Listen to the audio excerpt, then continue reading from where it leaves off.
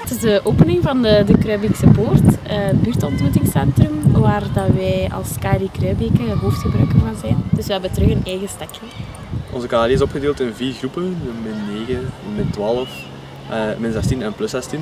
Op zondag komen de jongere leeftijdsgroepen aan bod en op vrijdag komen de plus 16 die best wel zelf geven.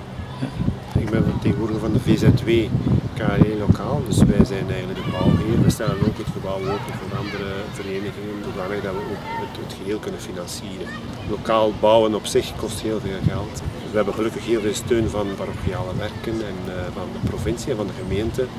En ook van de, van de gemeenschap en daarmee dat we ook het gebouw beschikbaar stellen voor de gemeente. Iedereen gaat terug met heel veel zin naar de KLE komen en leiding geven. En uh, hopelijk geeft dat ook een boost terug in ons ledenaantal.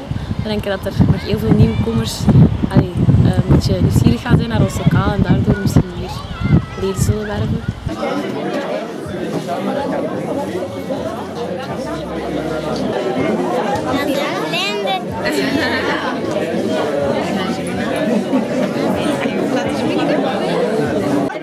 Ah, wat al aan het zeggen, voelt op thuis.